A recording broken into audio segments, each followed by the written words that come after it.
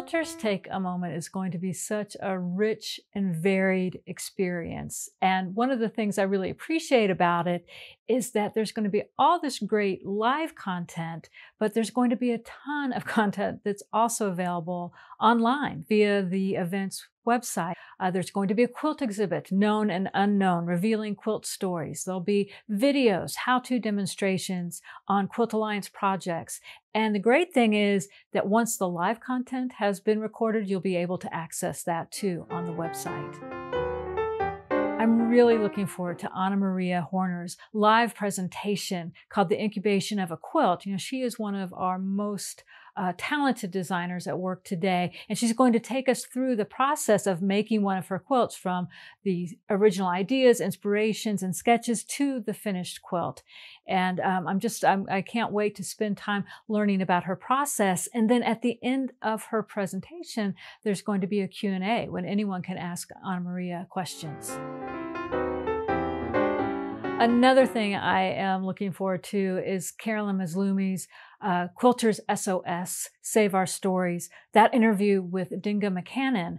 Um, I was not familiar with Dindga McCannon until recently, and I have discovered that she is an amazing fiber artist. And not only that, but she also played a really important role in the Black feminist art movement of the 1970s. She started a collective with uh, Kay Brown and Faith Ringgold. She is an amazing artist and a really fascinating human being.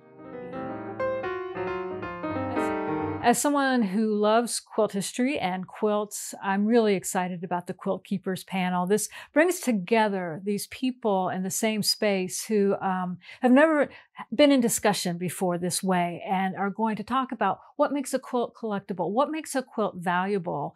And I am really interested to hear uh, what Emily Bode has to say. You know, she is this up and comer up and coming fashion designer. You can find her work in Vogue and on the pages of New York Times. And she uses quilts in her fashion. And uh, her work is fascinating. And I really look forward to uh, her part in this discussion.